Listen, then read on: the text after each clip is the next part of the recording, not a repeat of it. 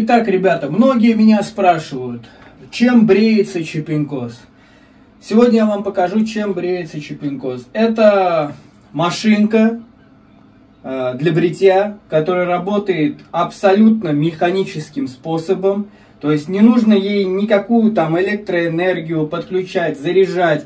Она не питается никакой электроэнергией. Все, что вам нужно, это всего лишь повернуть вот эту штуку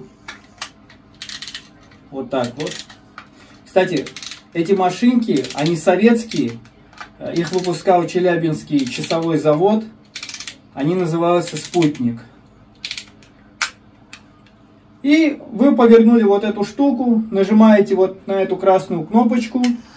И все, машинка завелась, теперь можете бриться. Все, как вы видите, хорошо работает, бреет. Также в комплекте у меня есть дополнительная вот такая вот насадка. Э, даже если ножи э, тупятся, их можно запросто поточить. И все классно, хорошо бреет. Вот, так что пользуйтесь советской э, бреющей машинкой спутник. И у вас не будет никаких бед. Можете брать с собой в поход, в спортзал, там, где недоступна электроэнергия. И можете бриться спокойно, как делаю это я.